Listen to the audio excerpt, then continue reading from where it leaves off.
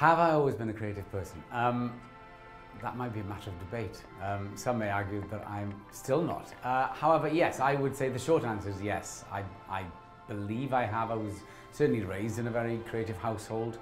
Um, my parents were both very creative. The, the small nation I'm from is and of itself um, very creative and it's, it's a storytelling nation. So we were, we were always singing, dancing, reciting, you know, writing all kinds of different kinds of arts. Both my parents were very musical, so music was uh, an enormous um, part of, of my upbringing. Um, and, and, and it fed then other aspects of creativity, of kind of drama, musical drama, um, reciting poetry to music, which is another Welsh tradition.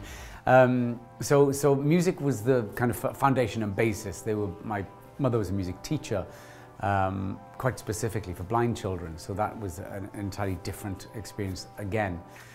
So she was very adamant that we would learn to play three instruments. She was a piano teacher herself, so piano, and then I chose the drums and the trombone because I wanted to make as loud a noise as possible in my small rebellion of having to learn musical instruments. But yes, music was the big basis.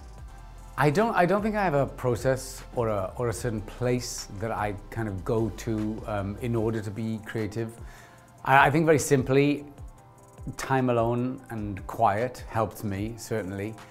I think the, the peak of my creativity usually, usually comes in that kind of lightning moment between two actors, when, when, and inevitably when another actor gives me something that I then take and either react or, or do something with. And I'm a big, big believer in that.